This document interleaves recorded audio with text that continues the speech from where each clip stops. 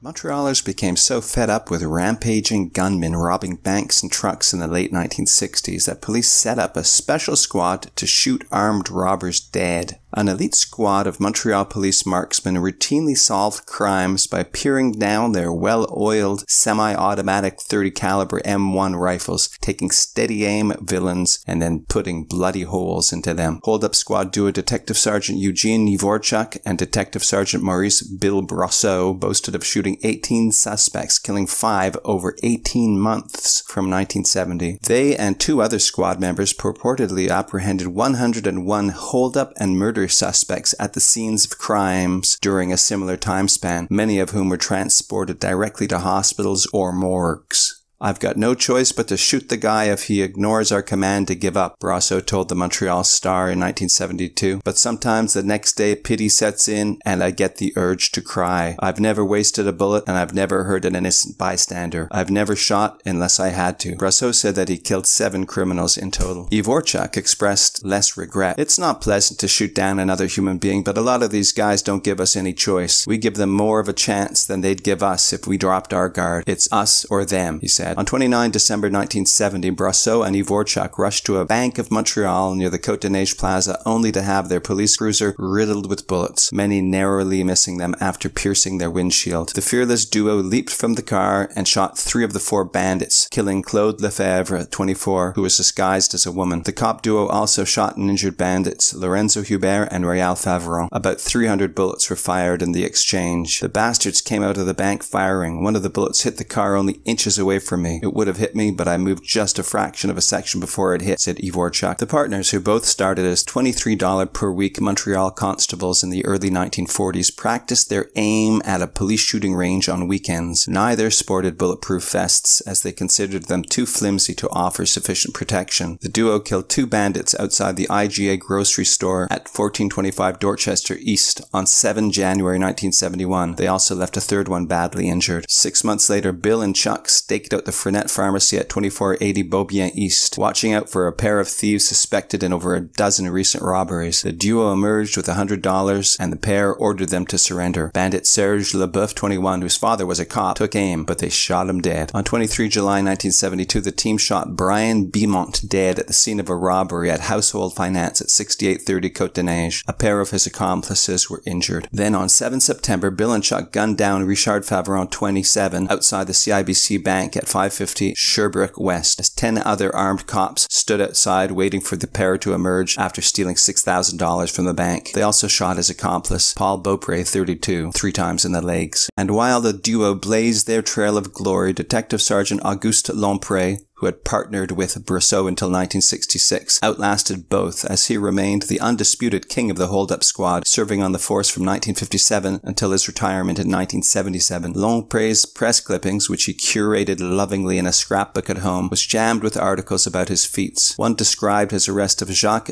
Diamond, 19, at his home on Jeanne d'Arc Street on a November morning in 1964. Diamond, still lying in bed, aimed his gun at the officers, but Lompre and two others leaped on him from all directions and cuffed him. Lompré was at the center of a massive shootout on 2 March 1974 after Martin Beaulieu, 43, was found shot dead in a rooming house at 2102 Saint Andre. Police came to question his neighbor, Maurice Rayo, 28, who opened fire on them through the door with his 22 semi-automatic. In March 1973, Lompré led a room-to-room search at the apartment tower at 3475 Saint Urbain after Andre Desbiens, 30, fired shots at a passing police cruiser from the building. They arrested the armed shooter. Lompré and other cops shot back back with their 38s. In all, about 100 shots were fired, but nobody was hit, and police got their man. Lompré, whose nickname was Ticoun, or Village Idiot, lost an earlobe to a bullet and had a father who served as Montreal's longest ever serving cop. Lompré and the Montreal holdup guys weren't limited to the island, as they were often called to other municipalities to help out. On 3 September 1971, Lompré and other cops shot and killed Gilles Labelle, 23, and Gilles Louis XVI, 24, both of Montreal, as they robbed a bank Bank in Saint-Basile-le-Grand, the town's first ever bank holdup. Lompré took part in about 100 shootouts over 31 years. The squad's violent pushback helped lower Montreal's bank holdup total from 224 in 1970 to 163 in 1971 as criminals turned to less lethal crimes. On 15 March 1974, police engaged in a shootout with Boston prison escapees who were robbing a bank on Jarry Street and Park Extension, killing bystander Dimitrios Kokora, 74. Nobody could locate the bullet that killed the man, so officers escaped blame. On 15 November 1974, around 200 shots were fired near the Pina Shopping Centre as a group of prison escapees from the St. Vincent de Paul prison took aim at a Royal Bank. Their battle with cops left bandit Jean-Paul Mercier, 28, dead. Bandit Robert Frappier came across a police officer, tripped on the ground. He shot twice at the officer, but his gun was empty. An officer then hobbled Frappier by shooting him in the leg. Prison escapee Richard Blass, 28, who had killed 13 with bullets and fire at the Gargantua strip club on Beaubien, became the highest profile police shooting from that period on 24 January 1975 after officers received a tip that he was hiding at a cottage in Val David in the Laurentians. Police shot him 27 times. Montreal police then shot John Slavy dead on Sherbrooke near Cavendish in May 1976, with many believing that they tossed a gun next to his dead body to claim that he had been armed. Slavy was believed to have killed one police officer years prior and had recently narrowly missed shooting another days earlier. Montreal police slowed down on their Wild West ways in around 1977 when a La Presse article referred to the once celebrated team as a death squad, a term later employed by criminologist Jean-Claude Bernheim in a book that criticized the shoot first practices of that era.